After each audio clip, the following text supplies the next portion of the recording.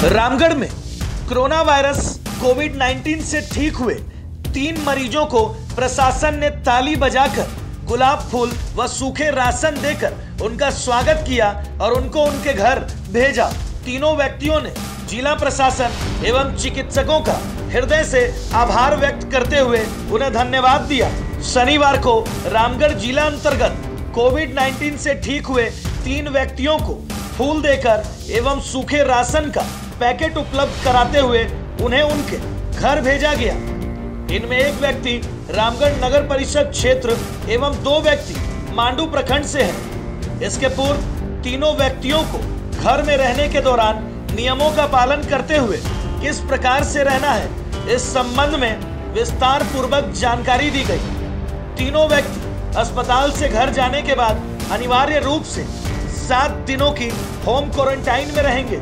इसके साथ ही जिला प्रशासन द्वारा प्रतिनियुक्त की गई मेडिकल टीम के द्वारा तीनों व्यक्तियों की लगातार मॉनिटरिंग की जाएगी। इस मौके पर तीनों व्यक्तियों ने कोरोना से ठीक होने के बाद जिला प्रशासन एवं रामगढ़ के चिकित्सकों द्वारा दिए गए योगदान का दिल से आभार व्यक्त करते हुए उन्हें धन्यवाद दिया। ये हम लोग का बहुत ही मतलब खुशी की बात है और हम लोग के रामगढ़ के लिए बहुत अच्छी बात है कि ये तीन लोग जो पहले पॉजिटिव थे वो निगेटिव होके आए हैं और हम लोग यहाँ यहाँ की सारी जनता के साथ हम लोग तालियों की मतलब ताली बजा के हम लोग उनका अभिनंदन कर रहे हैं कि ये लोग ठीक होके जा रहे हैं। क्या- इनका निगेटिव आया है इनको कोई दिक्कत नहीं है और ये संदेश देना चाहिए कि इसमें घबराने की कोई बात नहीं है।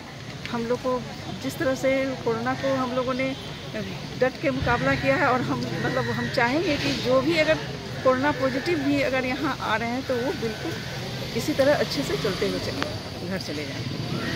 और हम लोगों के लिए बहुत अच्छी बात है कि यहाँ मतलब पहली बार हम लोग रिलीज़ किए हैं और इसी तरह से हम लोग चाहेंगे कि जो भी आए यहाँ से सब कुशल अपने घर चले जाएँ। न्यूजीलैंड चैनल को यूट्यूब में सब्सक्राइब करें और खबरें सबसे पहले देखने के लिए बेल बटन ज़रूर दबाएँ।